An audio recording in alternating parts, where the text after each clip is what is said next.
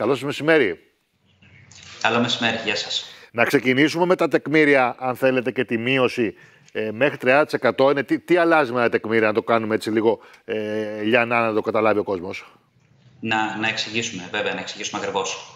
Φαίνεται πως το Υπουργείο Οικονομικών κατάλαβε ε, επιτέλους ότι είναι μια απαρχαιωμένη και ντεμοντέ, αν μου επιτρέπετε η, η έκφραση, έτσι, μεθοδολογία για να φορολογήσουμε ε, τους, ε, τους συμπολίτες μας. Τα τεκμήρια νομίζω ότι πρέπει να. Και είναι και, και οικονομικά είναι και ξεπερασμένος τρόπος, κύριε Χριστούλια. Έτσι δεν είναι. Είναι, είναι, είναι ξεπερασμένος τρόπος, είναι δεδομένο αυτό.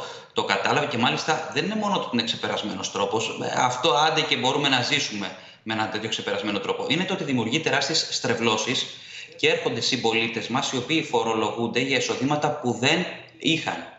Ε, ξέρετε, 1,8 εκατομμύρια συμπολίτες μας πέφτουν στην παγίδα των τεκμηρίων και ενώ δηλώνουν περίπου 3 εκατομμύρια ε, φορολογητό εισόδημα, φορολογούνται με 3 δις, φορολογούνται με 8 δισεκατομμύρια. Λόγω τεκμηρίων. Αυτό δεν είναι πάντα. Λόγω τεκμηρίων. Λόγω τεκμηρίων. Λόγω τεκμηρίων. Τόσο μεγάλη είναι η διαφορά, κύριε Σταυρούλια. Τόσο μεγάλη διαφορά. Είναι, είναι, πολύ, είναι, μεγάλη, ναι, είναι μεγάλη η διαφορά. Και, ε, είναι μεγάλο το ποσό, ε.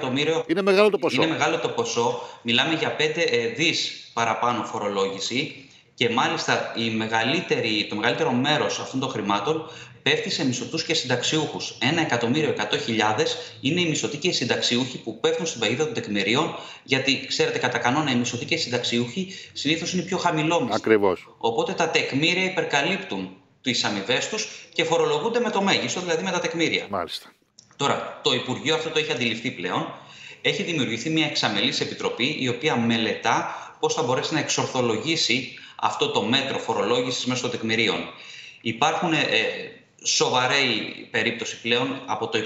Δεν μιλάμε κάτι για το 2024. Το 2024 θα ισχύσουν όπως τα γνωρίζουμε τα τεκμήρια. Από 25 λοιπόν. Το 2025 περιμένουμε μια πιθανή μείωση των τεκμηρίων κατά 30% από ό,τι μέχρι τώρα φημολογείται και κάποια παρέμβαση σε ό,τι να έχει να κάνει με το ελάχιστο τεκμήριο διαβίωσης, που είναι 3.000 ευρώ για τον άγαμο και φαίνεται ότι θα πέσει εκεί γύρω στα 2, 2, 2 μιλάνε για κάποια τέτοια νούμερα, αλλά και για τις οικογένειες, για το έγγαμο ζευγάρι, όπου είναι 5.000, 2.500 για τον καθέναν, και εκεί θα υπάρξει μια μείωση που θα πέσει κάτω από τις 2.000 ευρώ ε, για τον καθέναν.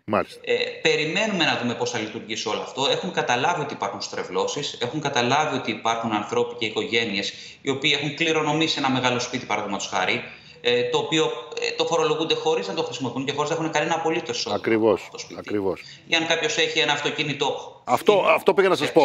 Πήγα να σας πω τώρα με το αυτοκίνητο πάνω από 2.000 κυβικά. Έχει τεκμήριο, έτσι δεν, δεν ισχύει ακόμα αυτό; Βέβαια, βέβαια, βέβαια, βέβαια. Και όσο πιο πολλά τα κυβικά, και ε, ξέρετε, τα, τα αυτοκίνητα με τα πολλά κυβικά πλέον είναι παλαιά αυτοκίνητα. Ναι, μπράβο. Τα αυτοκίνητα είναι χαμηλού ναι, ναι, ναι. Όποιος έχει λοιπόν ένα παλιό αυτοκίνητο, ε, καλείται να, να δικαιολογήσει και μία Μάλιστα. σειρά τεκμηρίων τα οποία Άρα, δεν είναι πράγματα. Έστω και από του χρόνου, από το 25 όπως λέτε, με τη μείωση αυτή, που σύμφωνα με πληροφορίες του 30% είναι μία ανάσα, είναι κάτι γίνεται, έτσι δεν είναι; Είναι, είναι μία ανάσα και έρχεται, έρχεται να κουμπώσει το ένα με το άλλο τώρα. Γιατί ε, χθες ανακοινώθηκε πως έχει ετοιμάσει πλέον το Υπουργείο Οικονομικών ένα σύστημα, το BANCAP, ε. είναι ένα σύστημα αυτοματοποιημένου ελέγχου προς αύξηση περιουσίας. Αυτό το σύστημα τι λέει, θα μπορούν πλέον μέσα σε αυτό το μήνα θα είναι έτοιμο, θα μπορούν με το άφημί του φορολογούμενου ή της επιχείρησης εντός 48 ώρων να έχουν οι ελεγκτικές αρχές στα χέρια τους όλα τα προϊόντα που έχει σε τράπεζα ο φορολογούμενος. Από καταθέσεις, από ηλεκτρονικές πληρωμές, ε, δάνεια, ε, μέχρι... Άρα θα έχουν ελεύθερη πρόσβαση, ελεύθερη πρόσβαση σε λογαριασμούς, σε καταθέσεις, οτιδήποτε, έτσι, ναι. Όχι, όχι μόνο ελεύθερη πρόσβαση θα έχουν και άμεση αξιολόγηση και αξιοποίηση των στοιχείων αυτών. Δηλαδή θα γίνεται άμεσα η σύγκριση με τα εισοδήματα του κάθε φορολογούμενου και θα προκύπτει εκεί αν υπάρχει φοροδιαφυγή ή όχι. Σε 48 ώρες θα μπορούν να έχουν την τελευταία πενταετία και σε 5 μέρες θα μπορούν να έχουν την τελευταία 15 ετία σε περίπτωση Α, που. Τόσο, το, τόσο πίσω θα μπορεί να πάει δηλαδή. Ναι, ναι, ναι, ναι, βέβαια. Σε περιπτώσεις που δεν έχει κατατεθεί φορολογική δήλωση, είμαστε ανοιχτοί για 15 χρόνια. Και σε περιπτώσεις ε, ξεπλήματος ή τέτοιων καταστάσεων έχουμε. Και αυτό, κύριε Σταυρούλια, οπότε θα, θα ξεκινήσει αυτή η διαδικασία που περιγράφετε τώρα; Φαίνεται, φαίνεται ότι μέσα στο μήνα που τρέχουμε στο Γενάρη θα έχει ολοκληρωθεί και θα είναι στα χέρια των ελεκτικών ε, μηχανισμών. Μάλιστα. Να δούμε, να δούμε τι, θα βγάλει, τι θα βγάλει και αυτή η διαδικασία που όπως ακούγεται ε, μπορεί να βγάλει πράγμα, ε, να εντοπίσει καταστάσεις, έτσι είναι; Είναι σημαντικό. Ε, ξέρετε, από τη στιγμή που μας έχουν υποχρεώσει όλες μας τις συναλλαγές να τις εκτελούμε μέσα από το τραπεζικό σύστημα. Κάτω από 500 ευρώ μπορούμε να κάνουμε κάποιες ναι. συναλλαγές με μετρητά, αλλά η πληθώρα των συναλλαγών πλέον είναι μέσα από το τραπεζικό σύστημα. Από τη στιγμή που έχουν και άμεση πρόσβαση στο τραπεζικό σύστημα και σε όλες μας τις κινήσεις, μπορούν εύκολα να δουν αν εγώ, παραδείγματος χάρη, έχω δηλώσει εισοδήματα για το 2023 50.000 ευρώ και έχουν περάσει από το λογαριασμό μου 150.000 ευρώ, προφανώς κάτι μπορεί να έχει συμβεί. Μάλιστα. Θα με φωνάξουν να δικαιολογήσω τα έξτρα 100.000 που έχουν περάσει από το τραπεζικό μου λογαριασμό. Μάλιστα. Εκεί λοιπόν θα κληθεί καθένας από εμάς να δώσει εξηγήσεις. Να ερμηνεύσει και δώσει να δώσει εξηγήσεις για αυτά τα χρήματα. Τώρα πείτε μας, σας παρακαλώ, και το, για να κλείσουμε με αυτό. Μα, την Το χαράτσι τώρα. Το χαράτσι αυτό. Τι, αυτό είναι γνωστό βέβαια νομίζω. Δεν είναι ακριβώς χαράτσι, είναι γνωστό. Είναι απόλυτα γνωστό. Ναι. Ε, μετά τον νόμο ε, Κατρούκαλου που εκεί οι ασφαλιστικές φορές ήταν συνδεδεμένες με τα εισοδήματά μας και γινόταν ο κακός χαμός εκεί.